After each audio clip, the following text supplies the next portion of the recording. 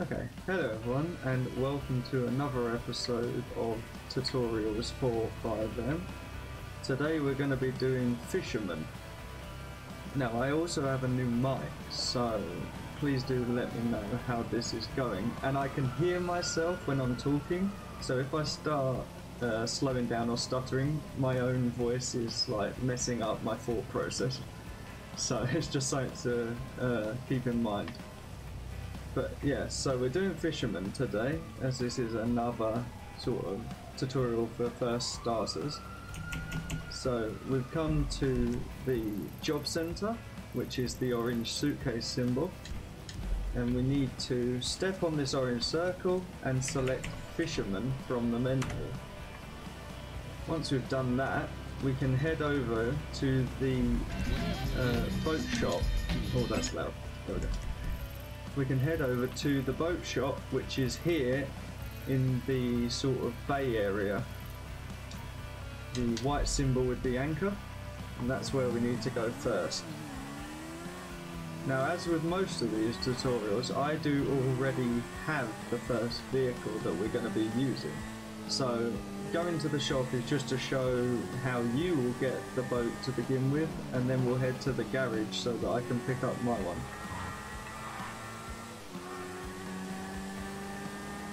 The fishing skill is actually quite profitable, but it can also be quite a long process, especially if you have a large inventory or one of the larger boats. It can take quite a while to fill up that inventory. This new mic is also very sensitive, so most likely you're going to hear every little noise that I make, so uh, again, please just let me know if there's anything too loud. But, so here we are at the Watercraft dealership. So we need to enter here, go to boats, and then we want, drop these radios. Then we want the first dinghy, two seats, 150 kilograms. Now as you can see, this boat is not cheap but you do not have to have your own boat to do fishing. You can just steal one of the boats in the harbour. So this will be an option for someone who wants to become a really serious fisher. But I already have that boat, so we're going to head over to the garage. And this is actually my car, it's uh, here from earlier. But we're going to head over to the watercraft garage which is just on the other side of the uh, bay area. And we'll grab my boat and then we'll head out to the fishing area.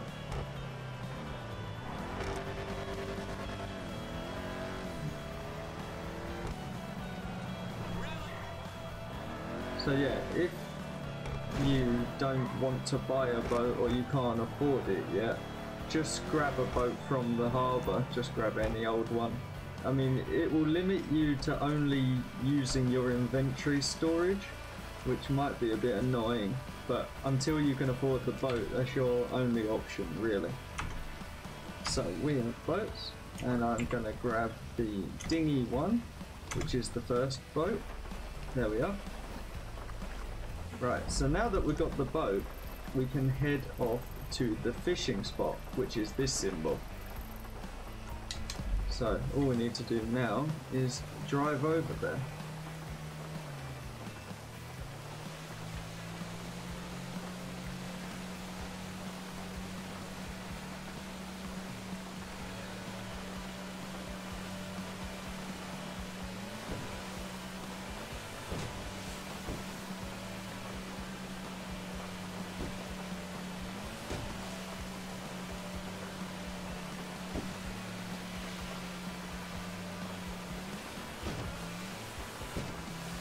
The water is quite choppy at the moment because of the uh, weather settings, but even when it's calm, you'll still get quite a lot of waves, and they can slow you down.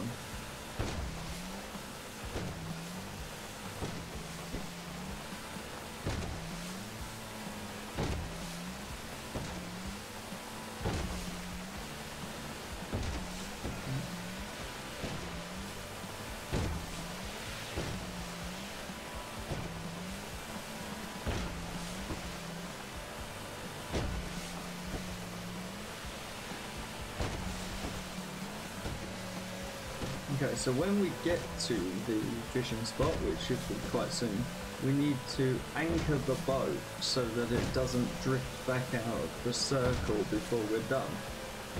And that is done by pressing the period key once you're out of the driver's seat. Because usually the period key changes the radio station. But obviously we don't want to do that, we want to anchor the boat. So we'll get it right in the middle. Then we exit and we press the period button and the boat is anchored sort of floating because we were on a wave but it's anchored in the circle so now we can fish. So to do fishing you need to press E which will bring out the rod and we need to wait for a fish to bite which brings up a mini game. There we are. So this red bar as you can see when it hits the ends it turns green. And you need to hit E again when it goes green. Like that. There we go. So we caught a mackerel. Now there are different types of fish you can catch and I think as far as I'm aware your level will correlate to how likely you are to get the better fish. But essentially we just need to sit here and catch fish until our inventory is full up and then if you have the boat you can also fill up the boat's inventory and I will show I mean by the time you can afford this boat you probably know how to use the M menus but I will still show how to do it as well. So we're just going to catch a couple because I'll be here all day if I have to fill up my inventory. But we'll get a couple more and we'll put them in the boat. Although before you put them in the boat, it is probably a good idea to uh, turn them into meat. Because when you sell fish, you don't actually sell the fish itself. You sell the fish meat and that can be done in the inventory. So we use the M menu, we come to inventory, and then you can see we have fish cod, fish mackerel, and fish scythe. So we need to select the fish, and then we can gut all fish into into meat. So we do it for the cod, and that gave us 184 fish meat, as you can see on the side and that is where the quality of the fish changes your reward. So the better fish, the more fish meat you'll get from it. So we will continue gutting all these. As you can hear my uh, keyboard, it's quite loud, so apologies for that. But there we go, so we've gutted all the fish. And we now have 421 fish meat. Now fish meat is sold at the red house symbol with an anchor. So that is where we're going to be heading now. But before, as you can see, right now, we're still floating. We can't move. So before you get in the boat, you need to press zero again to remove the anchor. Now that that's gone, we can head over to the fishing portal.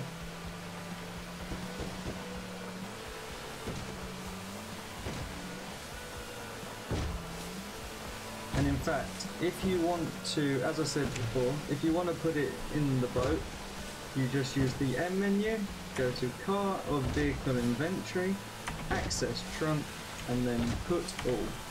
And that will place all of the stuff that we had in the trunk. But for this, uh, considering I haven't even filled up my inventory, we might as well leave it in there to make selling it easier. So, we, because of where the fishing portal is, we do have to go around Los Santos International, which makes this journey a bit longer.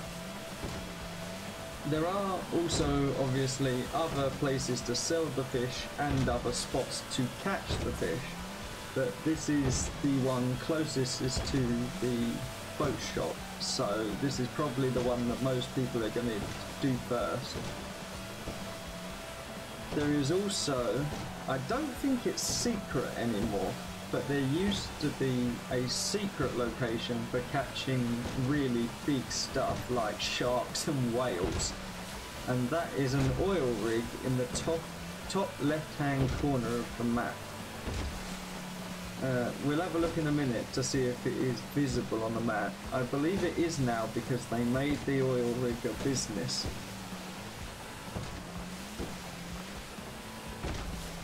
We can check that once we have sold this fish.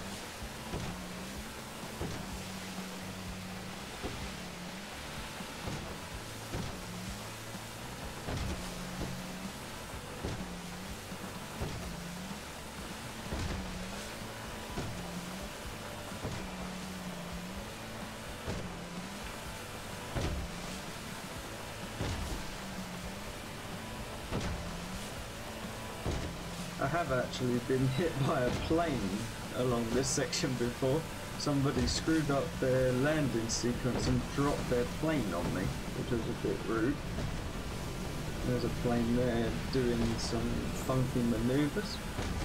Now we need to go around this uh, custom uh, runway as well, because the importer is well, I mean, you don't have to, but the importer is over here. The fueling station and repair point is here.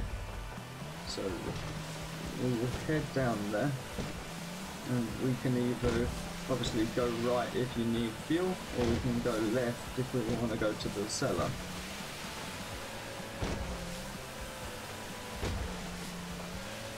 There we go. So the seller is just to the right of this uh, boat shed here we are.